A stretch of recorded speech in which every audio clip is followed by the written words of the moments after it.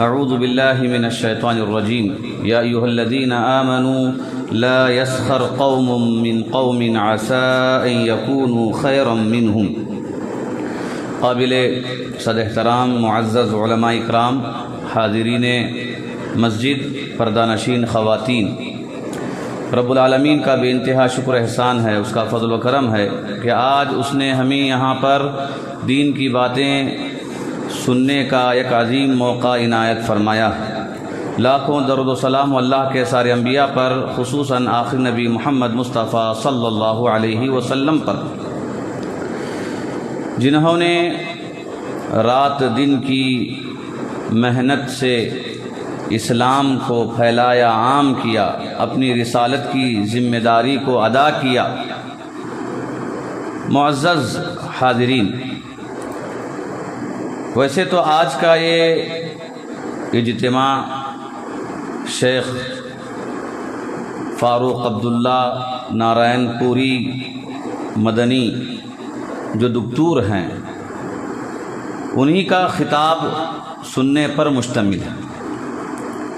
उससे पहले बस तमहीदन कुछ मिनट आपके सामने इसलाही तौर पर कोई बात मैं अर्ज़ करूँ, इसलिए आपके सामने ठहरा हूँ इन पंद्रह मिनट में आपके सामने एक छोटे से मसले से मुतक़ गुफ्तु करना चाहता हूँ। ये छोटा सा मसला ऐसा है कि जिसकी तरफ़ हमारी तवज्जा बहुत कम होती। बड़े हों, नौजवान हों, छोटे हों, पढ़े लिखे या अनपढ़ हों, ये सब के सब एक छोटे से मसले में अल्लाह के नाफरमान हो जाते हैं। एक बहुत बड़ा गुनाह वो कर बैठते हैं। और हमें इस बात का एहसास भी नहीं होता कि आखिर हम क्या कर रहे हैं। और ये चीज़ हमारी ज़िंदगी में हमारे लिए कितनी नुकसानदेह है। इस बात का एहसास नहीं होता। मोहतरम हजरात, वो चीज़ है किसी भी इंसान का मज़ाक उड़ाना, मुसलमान का मज़ाक उड़ाना मज़ाक उड़ाना यानी इज़्ज़त निकालना, किसी की तहकीर करना, कमतर उसे कर देना, लोगों की निगाहों में उसे गिरा देना, उसके अंदर कोई कमी है, उस कमी को उछालना उस कमी को आम करना। और ये चीज़ हमारे दरमियान पाई जाती है, हम सब इसके शिकार हैं। मर्द हजरात भी शिकार हैं, ख़वातीन भी शिकार हैं, पढ़े लिखे लोग भी इसमें मुबतला हैं। और हमें ये बात याद रखना चाहिए कि देखने में ये चीज़ जितनी छोटी है, लेकिन अंजाम के एतबार से ये बहुत ही ख़तरनाक और बड़ी चीज़ है। अल्लाह रब्बुल आलमीन ने कुरान मजीद के अंदर इससे हमें रोका है, मना किया ख़ास कर अहले ईमान से खिताब करते हुए अल्लाह ताला ने फरमाया यादीन कौमिन हूँ ईमान वालो, एक जमात, दूसरी जमात का मज़ाक ना उड़ाए, चंद लोग दूसरे चंद लोगों का मज़ाक ना उड़ाए। हो सकता है कि जिनका मज़ाक उड़ाया जा रहा है, वो अल्लाह के नज़दीक बेहतर हैं। और यह मुमकिन है।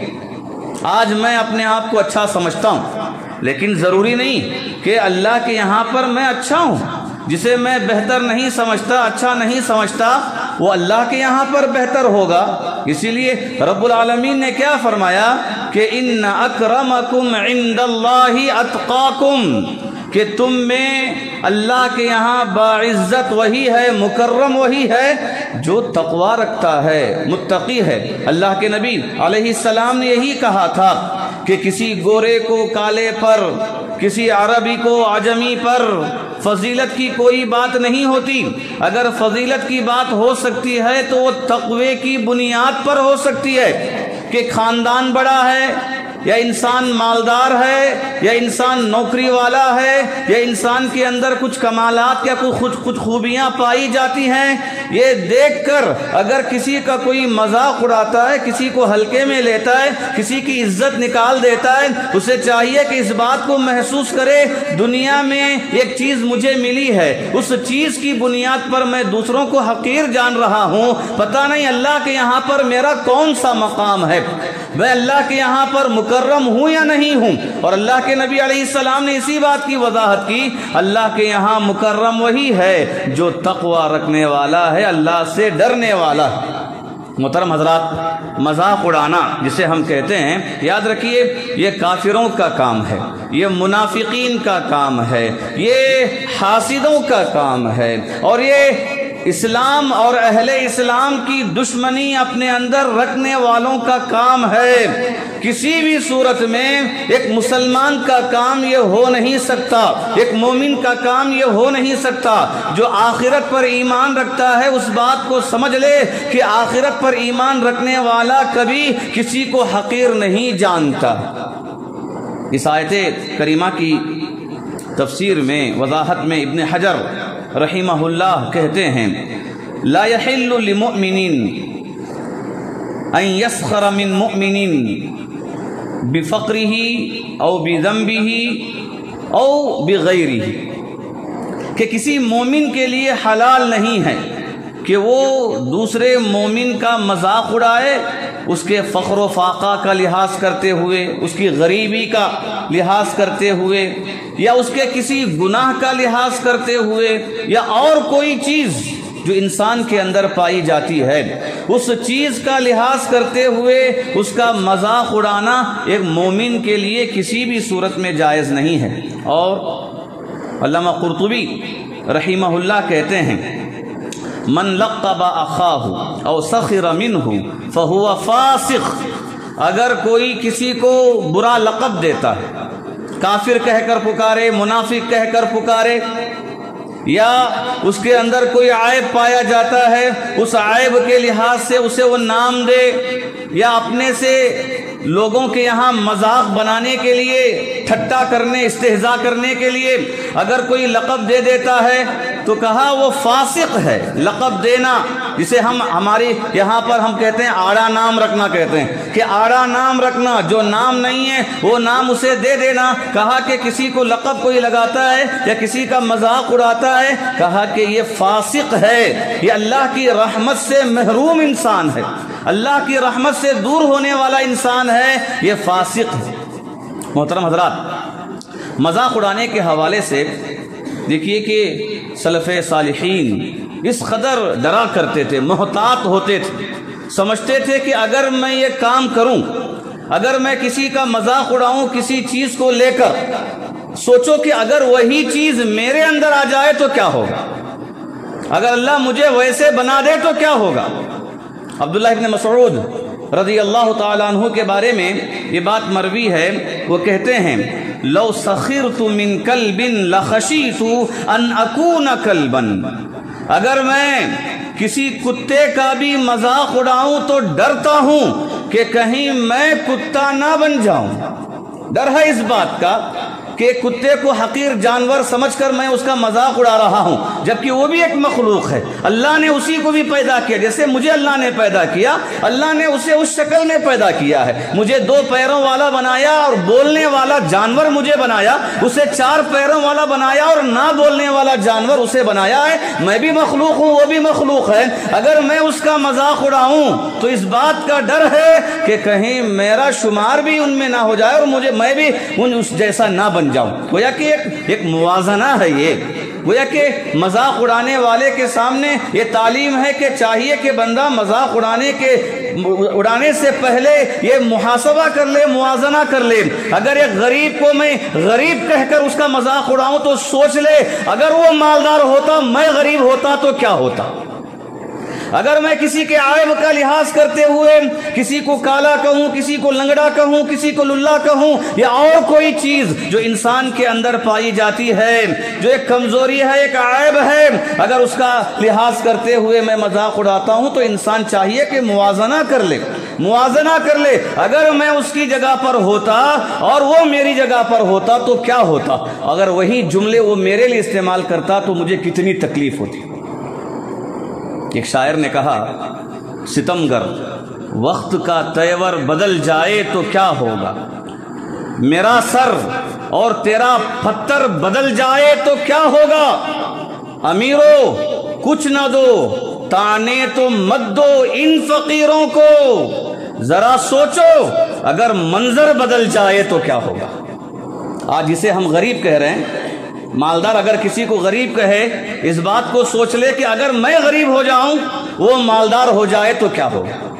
अगर ये हालत बदल जाए कि जिसकी, किस कम, किसी कमज़ोरी का लिहाज करते हुए मैं उसे बुरा कह रहा हूँ, उसका मज़ाक उड़ा रहा हूँ, अगर वो मंजर बदल जाए तो क्या हाल होगा? मोहतरम हजरात, ये बहुत ही बड़ा ख़तरनाक जुर्म है। रब्बुल आलमीन ने सूर्य हजरात की आयत करीमा में मर्दों से खिताब करने के साथ साथ औरतों से भी खिताब किया। जबकि बात तय है कि कुरान मजीद के अंदर जो अहकाम बताए गए हैं, सारे अहकाम में मर्दों से ही खिताब किया गया है। वो सेगे इस्तेमाल किए गए हैं ग्रामर के अतबार से, जो मर्दों के लिए इस्तेमाल किए जाते हैं। जैसे कदफलमिन कामयाब हैं मोमिन मर्द क्या औरतें इसमें शामिल नहीं हैं? बदरज अवला औरतें भी शामिल हैं लेकिन तगलीब, गलबे का कायदे, गलबे का लिहाज करते हुए हर जगह पर मर्दों से मुतालिक से ज़िक्र किए गए और अगर हर हर जगह पर मर्दों के साथ साथ औरतों का भी ज़िक्र होता जाए, यकीनन क्या है, आयतों में इजाफा हो जाएगा। लेकिन गलबे का ख्याल करते हुए अल्लाह ताला ने मर्दों का ज़िक्र किया, उसमें औरतें शामिल हैं। खदफलमिन कहा जाए तो उसमें औरतें भी शामिल हैं। जो मोमिन औरतें हैं, वो औरतें भी शामिल हैं। जो अपनी नमाजों में खुशो खुजू इख्तियार करने वाली हैं। वो औरतें उसमें शामिल हैं। लेकिन बाज़ मकाम पर, जहाँ अलग से औरतों को खिताब करने की ज़रूरत है मुतनबे करने की ज़रूरत है ख़ास तवज्जा दिलाने की ज़रूरत है। वहाँ पर अल्लाह ताला ने मर्दों से खिताब करने के साथ साथ औरतों से भी खिताब किया और उसी मसले में ये बात शामिल है कि अल्लाह ताला ने मज़ाक उड़ाने का मसला जब मोमिनों से खिताब करते हुए फरमाया, मोमिन मर्दों से खिताब करते हुए फरमाया, उसी जगह पर औरतों से भी कहा कि अय औरतों की जमात, दूसरी औरतों की जमात को का मज़ाक ना उड़ाए, दूसरी औरतों का मज़ाक ना उड़ाए। ये बात क्यों है अलग से। इसलिए कि ये सिफत, ये चीज़ औरतों में थोड़ी ज़्यादा पाई जाती है। औरतें दूसरों को हकीर ज़्यादा जानती हैं। दूसरों के घर का मसला, दूसरों के जेवरात का मामला, दूसरों की ज़िंदगी या रहन सहन या ओढ़ने बिछोने का मामला, इन सारी चीज़ों को देखकर औरतें दूसरों का मज़ाक उड़ाती हैं। और ये चीज़ पाई जाती है औरतों के अंदर। सहाबियात में आयशा रज़ी अल्लाह तहा ने बस एक छोटा सा जुमला इस्तेमाल किया था। सफ़िया रज़ी अल्लाह तहा के हवाले से कि वो सगीरा हैं, वो छोटी हैं। पस्त कद होने के कलीमे इस्तेमाल किए। देखिए, एक छोटा सा जुमला था। अल्लाह के नबी ने कहा कि आयशा, तुमने ऐसा कलीमा इस्तेमाल किया है। अगर इस कलीमे को दरिया में भी बहाया जाए, मिलाया जाए तो दरिया का पानी भी गदला हो जाएगा। अल्लाह अकबर। छोटा सा कलीमा है। यकीनन ये चीज़ जब इंसान अपने अंदर इख्तियार करता है तो आते आते उसके अंदर तकबर की सिफत इतनी आम हो जाती है कि इंसान अपने अलावा हर एक को मामूली और हकीर जानने लगता है। इसीलिए अल्लाह के नबी सलाम ने तकबर की तारीफ़ में फरमाया था, अलकीबुर बतरहक़ व गमतुन्नास तकबर यही है कि आदमी हक को ठुकरा दे और आदमी दूसरों को हकीर जाने।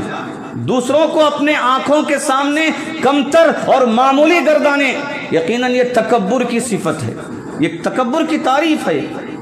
अलगर्द, मोहतरम हजरात, जो हम दूसरों का मज़ाक उड़ाते हैं उसकी कई सूरतें और कई शक्लें।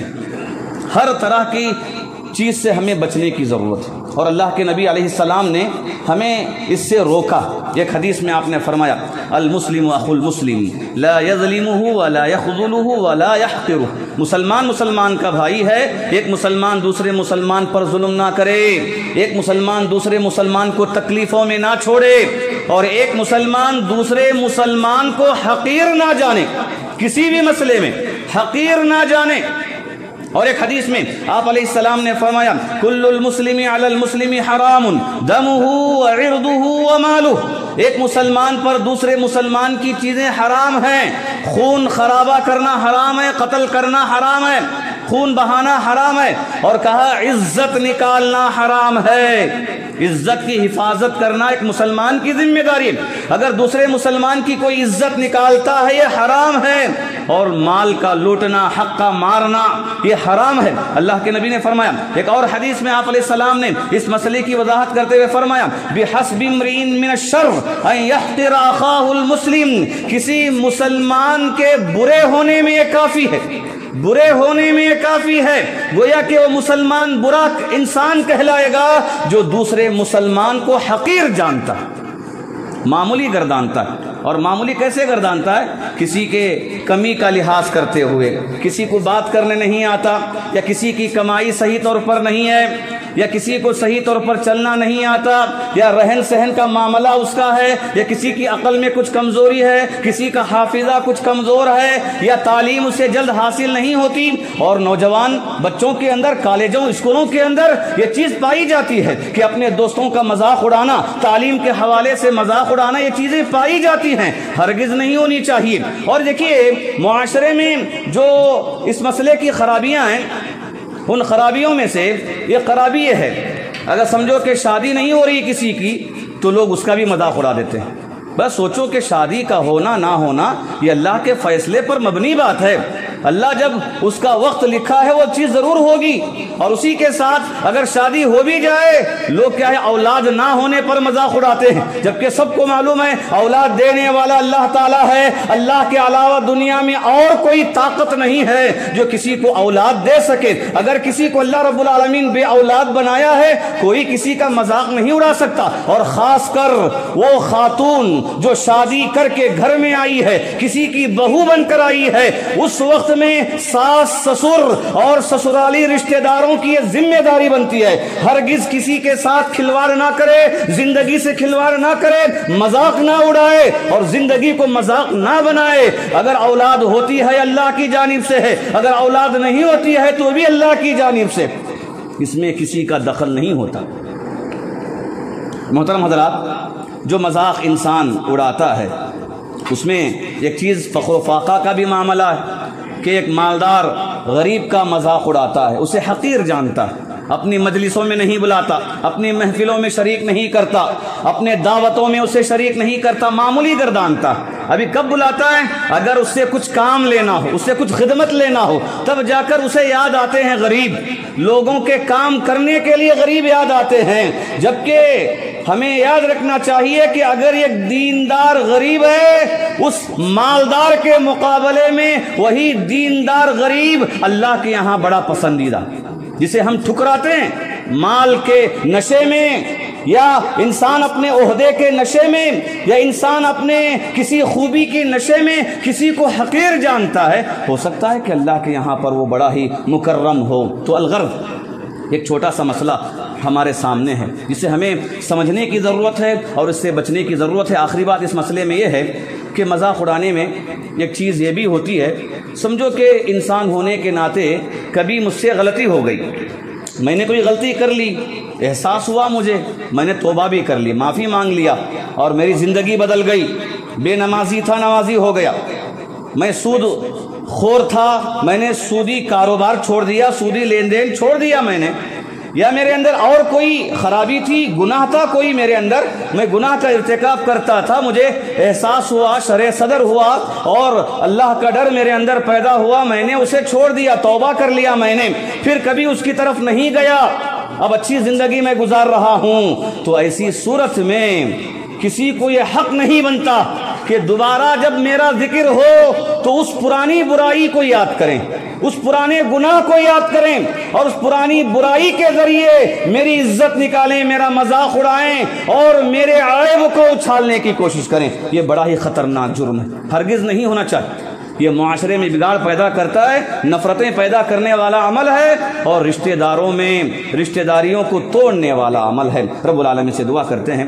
कि अल्लाह ताला हमें माशरे की असलाह के लिए जो तालीमत कुरान मजीद के अंदर बताई गई हैं, उन तालीमत को अपनाने की तोफ़ी अता फ़रमाए। अल्लाह हमें एक दूसरे की इज़्ज़त करने की तोफ़ी अता फ़रमाए। रबालमीन दूसरों के इज़्ज़तों को उछालने, दूसरों का मज़ाक उड़ाने से बचने की तोफ़ी अता फ़रमाए।